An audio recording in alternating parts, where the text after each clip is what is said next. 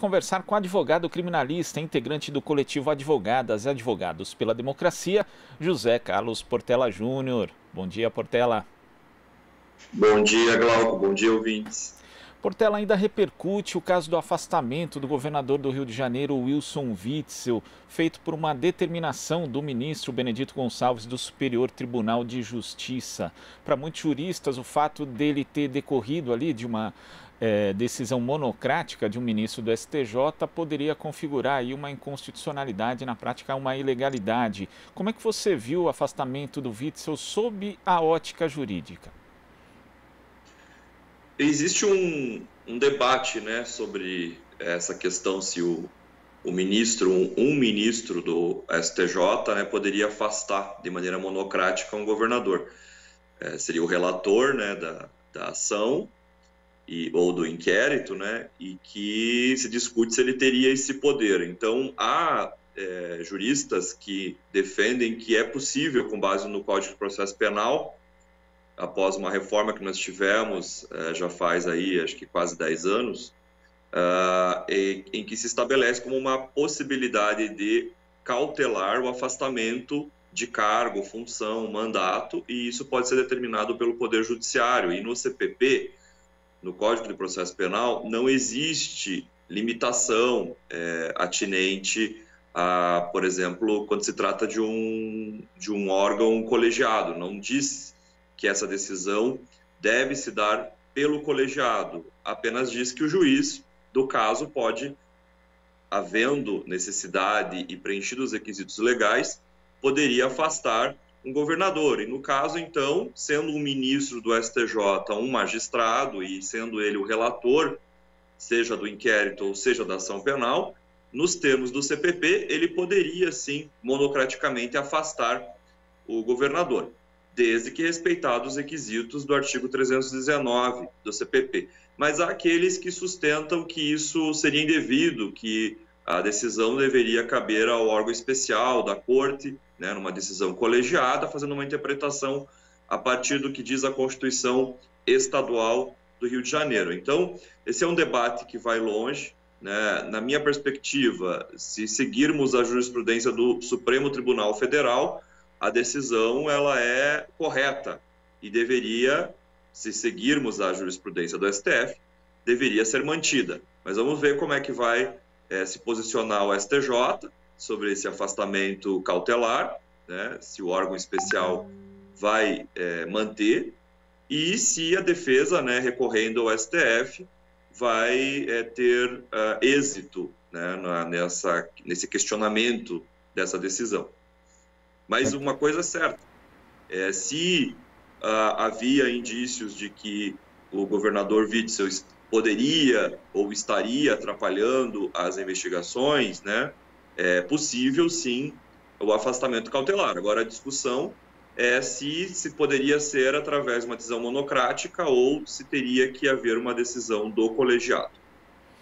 E ultimamente, né, são diversas decisões monocráticas de integrantes de órgãos colegiados que interferem na cena política brasileira. Né? Isso acabou virando uma espécie de rotina, Portela. É, a gente tem visto isso, né, uma, um, uma, uma elevação da posição do judiciário na cena política de maneira bastante incisiva.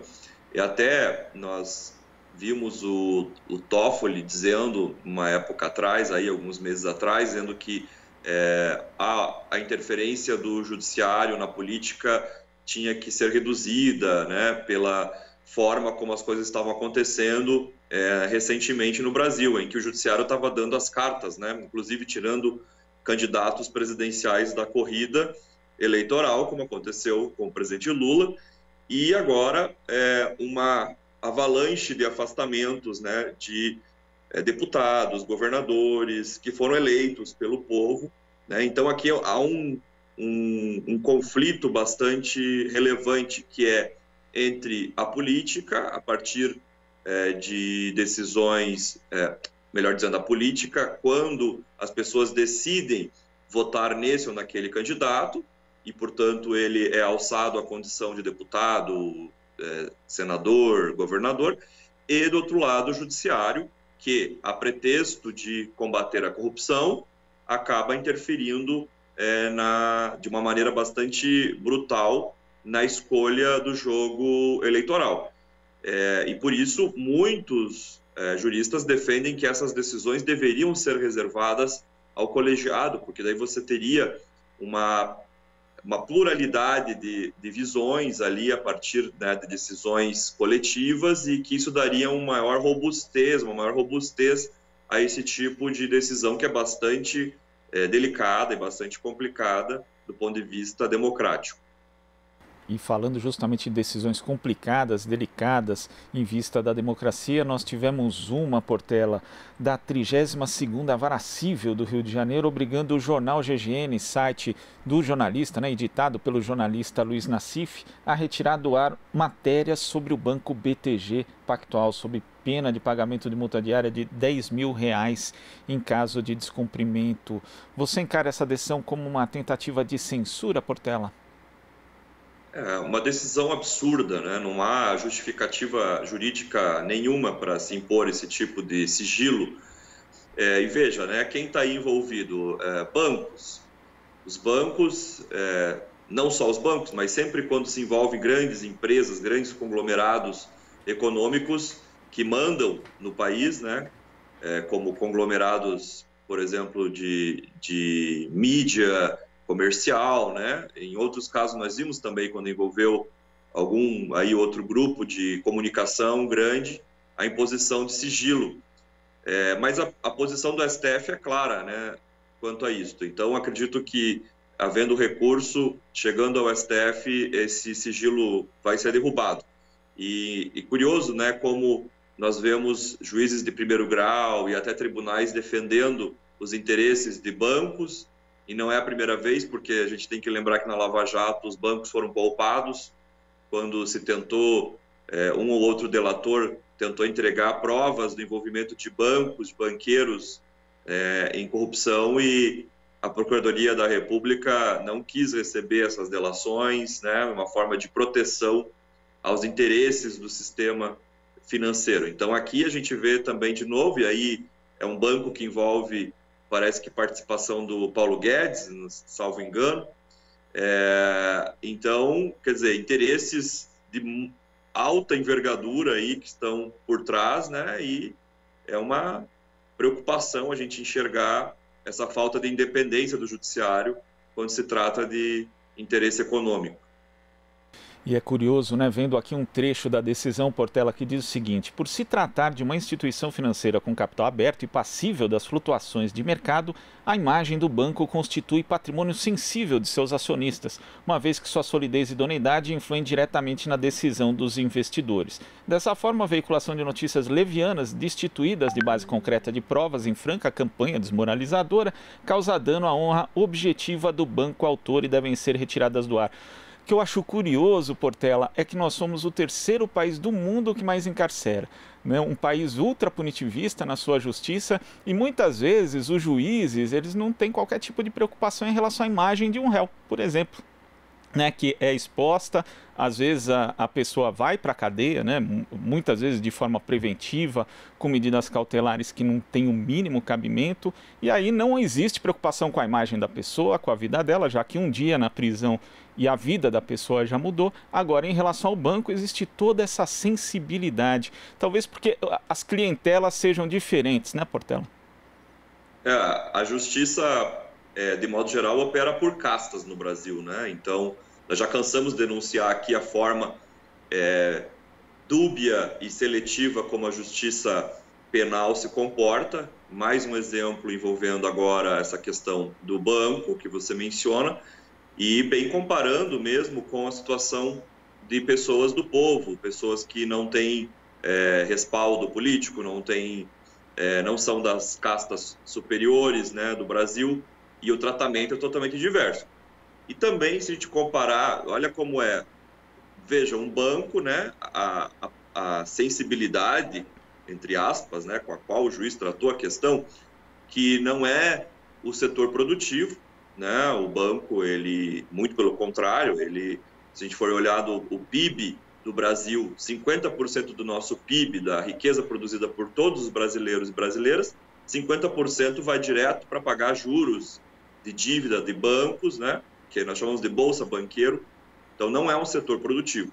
Compara isso com o que aconteceu com a Lava Jato, quando se destruíram empresas de setores produtivos e estratégicos para o desenvolvimento nacional e não se teve essa preocupação de proteger as empresas, né, da flutuação do mercado, da, né, se ficassem com a imagem comprometida perante os acionistas, né, muito pelo contrário, inclusive rifaram a Petrobras lá nos Estados Unidos, fizeram aquele acordo escabroso para pagar é, os acionistas norte-americanos né, para ressarcir de supostos prejuízos que sofreram, quando na verdade a Petrobras foi vítima, né, se for olhar o, a forma como foi construído o caso pela Procuradoria da República, a Petrobras foi vítima de crimes de corrupção. E como que pode se justificar que o próprio governo brasileiro, né, representado pelos entreguistas que assumiram o poder depois da derrubada da presidente Dilma, é, como que pode fazer esse tipo de acordo e entregando o patrimônio nacional para ressarcir supostos prejuízos que os acionistas tiveram. Né? Então, nesse caso da Lava Jato, não teve nenhuma preocupação em proteger as empresas brasileiras que são estratégicas, que contribuem para o desenvolvimento nacional e que geram empregos. E aí, veja o que aconteceu no setor de óleo e gás no Brasil, né? uma destruição sem precedentes, né? refinarias fechadas, é, sendo agora vendidas a preço de banana. Né? Naquela época, a, o valor de mercado da Petrobras, quando a Lava Jato estava ali é, no auge, acabou despencando né, por ações irresponsáveis do Ministério Público Federal e da Justiça Federal do Paraná, com a proteção né, do Judiciário, de modo geral, do STJ, do STF. E aí, agora, quando se trata de um banco, com pessoas que têm ligação com o governo, aí nós vemos todo esse discurso de proteger a empresa né, contra flutuações de mercado e proteger a sua imagem. Então, seletividade escancarada, interesses políticos que comandam a justiça no Brasil.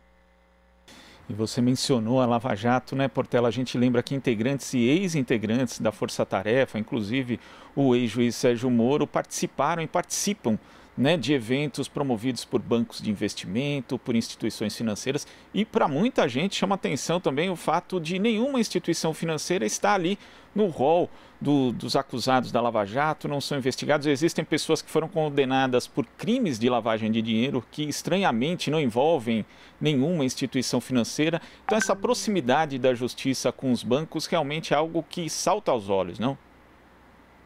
É muito comum a gente vê eventos de bancos é, que pagam, pagam passagem aérea, pagam um hotel para juízes e outros servidores públicos né, da, do sistema de justiça, é, e aí montam um evento, um congresso para falar sobre direito e não sei o quê, né, disfarçando que é um congresso, chamam juízes, pagam tudo e aí, tá, tem umas palestras lá, jantares, mas o que, que é isso no final das contas? Né? Não é à toa que muitos advogados denunciam a posição do STJ, que é muito protetiva dos bancos. Né? É a corte é, que deveria zelar, pelo, por exemplo, pelo Código de Defesa do Consumidor, afasta a aplicação do Código de Defesa do Consumidor é, dizendo que ele não há uma relação de consumo, né? não há uma relação de serviço. O que, que é aquilo? É um, um, contrato civil diferente que não se encaixa no CDC, na perspectiva da,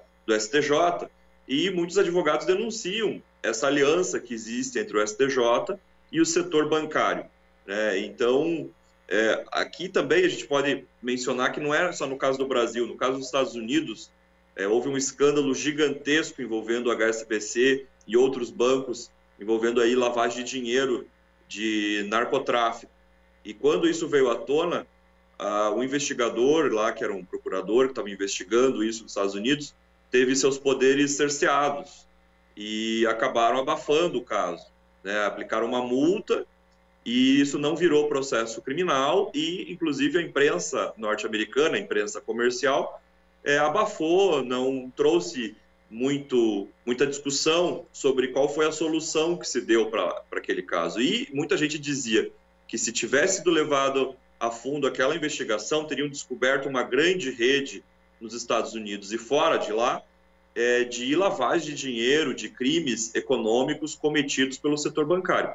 Bom, 2008, que nós chamamos de crise financeira 2008, no seu bojo houve uma série de crimes contra a ordem econômica, contra os consumidores, contra os investidores, pequenos investidores, né, o aposentado que deixava seu dinheiro no fundo de pensão, é, praticado pelo sistema financeiro, pelos bancos.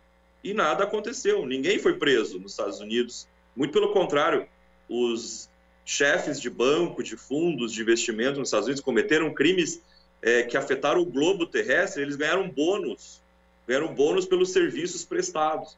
Então, você vê, e lá nos Estados Unidos também, se for olhar o sistema prisional dos Estados Unidos, quem está lá na cadeia? Majoritariamente negros, latinos, pobres, né, uma população enorme, né, que bate aí quase 2 milhões, 2 milhões de pessoas encarceradas. É, é, é, igual, o retrato do sistema prisional é igual ao do Brasil. E lá a seletividade também opera da mesma maneira. Então, isso é, é deletério para a democracia, quando a gente percebe que nós temos um sistema de justiça que reproduz as desigualdades socioeconômicas de uma sociedade. Né? Juízes que protegem setores que são é, setores das castas superiores e, e que pegam pesado, não tem dó nem piedade com quem furta um sabonete, um pedaço de comida, né? uma pessoa pobre que às vezes está em situação de rua. Então, é essa a tragédia que nós vemos diariamente no sistema de justiça no Brasil e também fora do Brasil, nos Estados Unidos, a mesma coisa. Infelizmente. Portela, queria agradecer a sua participação aqui no Jornal Brasil Atual e até a próxima. Eu que agradeço. Bom trabalho. Até a próxima.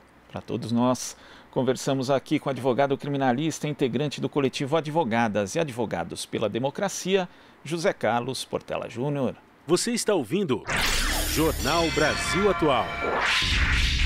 As notícias que os outros não dão.